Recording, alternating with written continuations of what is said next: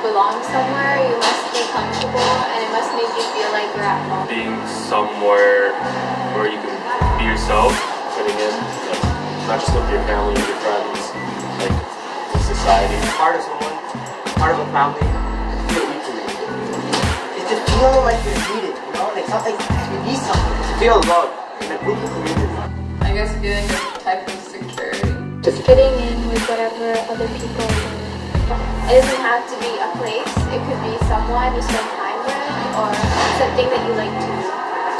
Validation, like within yourself, that you need, like, oh, that person thinks the same thing as me. Um, I guess belonging to being part of a, a group which you can relate to and participate in some way. To have the right personal or social qualities to be accepted as part of a group.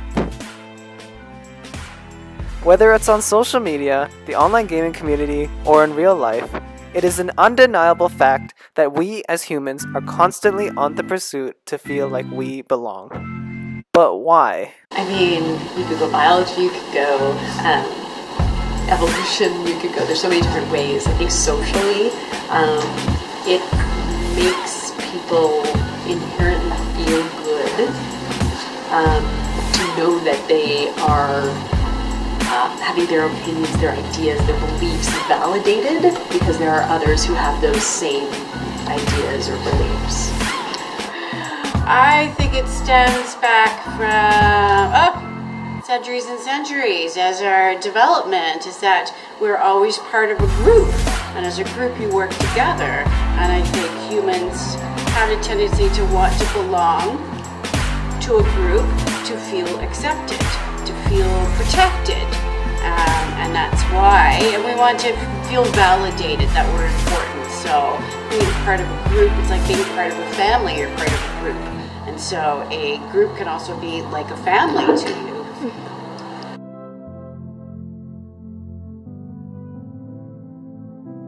I feel most comfortable on social media. social media. Social media. Social media. In a survey done amongst MCI students, the second most popular answer to where they feel they belong the most was social media, with 34%.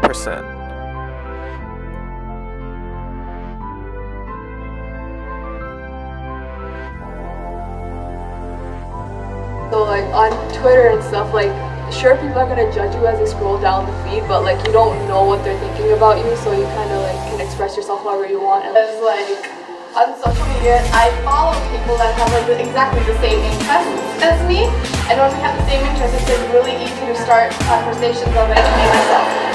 Why can't you be yourself in reality? Because when I'm online, nobody can judge me. That person thinks the same thing as me, and like you don't feel like left out of something because you have the same thoughts as the other person on the other side. Looking at me, judging me, I won't be able to see their face and know how they're feeling. So in this case, the fact that you don't know is what uh, comforts you. People who feel a sense of community and belonging because of Facebook, but I think it's a false sense of belonging. To answer this question with uh, the gaming world, would you think poorly of them if you were to see this answer in this documentary, for instance? Yep, I think that they're probably like a loner or something. I mean, if they feel most comfortable in the gaming world, they probably don't really talk to anybody.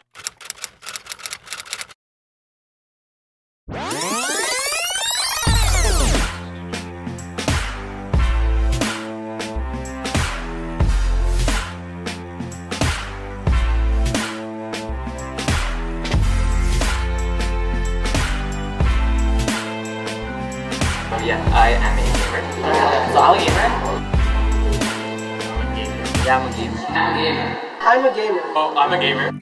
How many hours a week do you spend on gaming? Three to four hours a day. Yeah. 20? Spending that much time online, where do you as a gamer feel the most comfortable? In reality. Gaming. Uh, gaming, you feel so, so immersed into that environment. You feel like you're one with the game.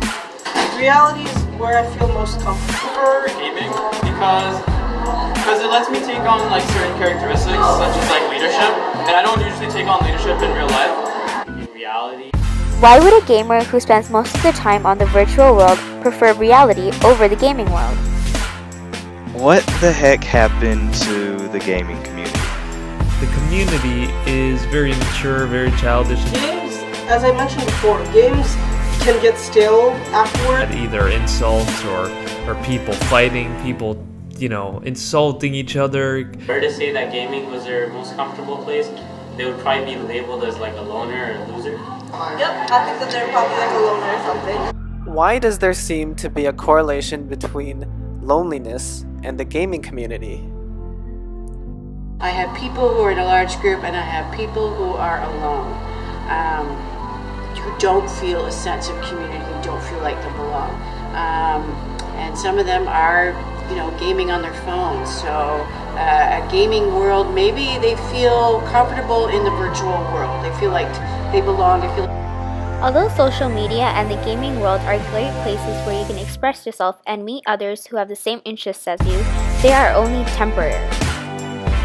Relying on these two mediums for a sense of belonging can result in isolation, depression, and even social anxiety. A study done at New University of Michigan found that more people checked social media, the more likely they were to feel worse about their own lives.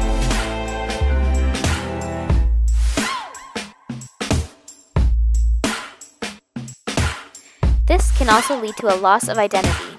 Even though we like to think that we don't change, uh, we really do change inside. And a lot of it's influenced by society, so we will evolve to the way that people around us are. Give up on your true values, the things that you believe in, and you just start pray. I guess, you know, just praising whatever they say, just going after whatever the, everyone else says. You have to pretty much conform. If you're if you're in a certain group, it's mostly like you have this, their specific interests. So even if you don't like something, you'll end up out of it. You may not notice that you're actually conforming, but you are. I feel like on social media there's much pressure about things, and I, I don't know. When I can't see people's faces, that makes me worry. Because when I'm talking to people in real life, they're face to face, I know who I'm talking to. Online, I don't know who's behind that keyboard or what is behind that keyboard. It's not like social media can portray someone as someone fake. As in real life, you could actually see the person, you can talk to them, you can talk face to face, which is something that social media doesn't have. The gaming world, like generally speaking, you don't get to see each other's faces. Like you Maslow's hierarchy of needs explains how belonging is one of the key aspects to motivation, survival, and psychological health. Because reality is the only permanent medium of communication, it is important to find a place, person, or group in real life in which you can be yourself and fulfill the need to belong.